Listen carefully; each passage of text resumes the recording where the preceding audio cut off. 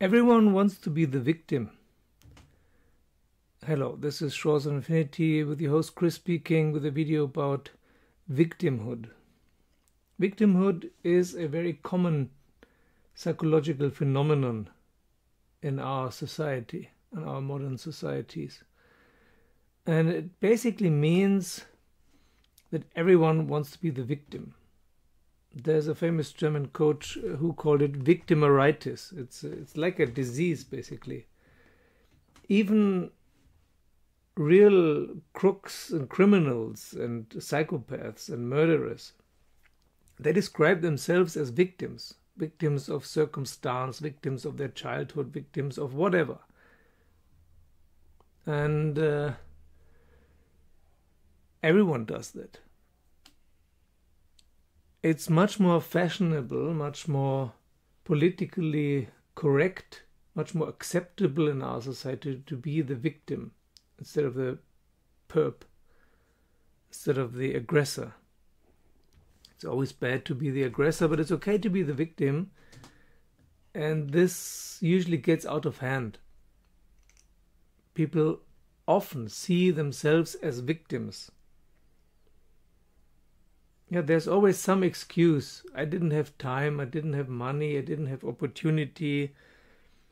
My childhood was so horrible, it's so difficult, whatever. Those are excuses which we know from children, especially school children, why they couldn't do their homework or whatever. Yeah?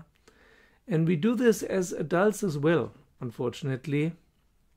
It doesn't stop with the end of childhood or with the end of um, adolescence, we continue because we have seen it work somehow. Plus, many people think it's great to get empathy or even pity. It's not. It's actually horrible. Pity and empathy are horrible things because they keep you small, they keep you in your delusion of not being able.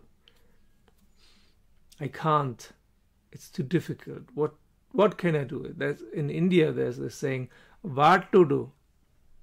Yeah, there's a lot to do. But if you give up immediately, then of course not. So I invite you to look inside and observe yourself, to look for signs of victimhood, of victimeritis. If you can't, ask your closest friends and family, uh, for example, your wife or your husband, best friends, do have any, do display any signs of victimhood, do often seem to crave empathy, do often play the poor me.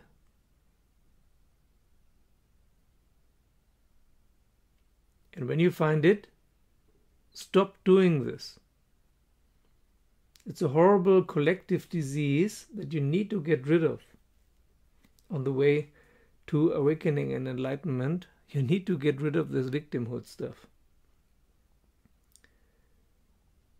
It has to do with boundaries also.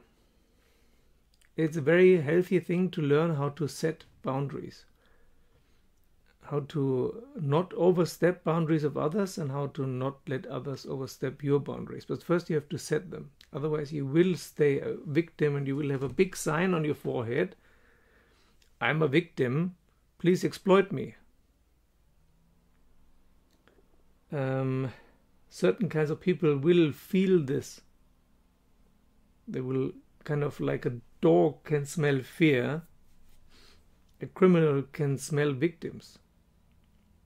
And if you think of yourself as a victim, then of course you project this outwards and then no wonder that you get treated accordingly. So, only because it's acceptable in our society to be the victim doesn't mean it's good. And in the end, there is, of course, no victim. Yeah? It's a dysfunctional diet, a dysfunctional duality between victim and aggressor, victim and perpetrator. And this disappears once the victim disappears. If there's no victim, there will be no one attacking. The aggressor, the perp, will also vanish. So, with being a victim, you provoke victimhood. You provoke aggressors to victimize, to brutalize you. It sounds harsh, um, but it's also the truth. So stop being a victim if you're not aware of it. Ask others or do one session of psychotherapy or something and ask the psychotherapist how your victimhood looks like. Most people do it. Don't think immediately, oh, uh, that's not my thing. It probably is in one way or another. It can be very, very, very clandestine, very indirect, hidden. Okay, that's it for today. Thank you for listening. Thank you for subscribing. Thank you for joining me as a Patreon. Thank you for those who have already joined me as a Patreon. Give the video a thumbs up if you liked it and see you soon.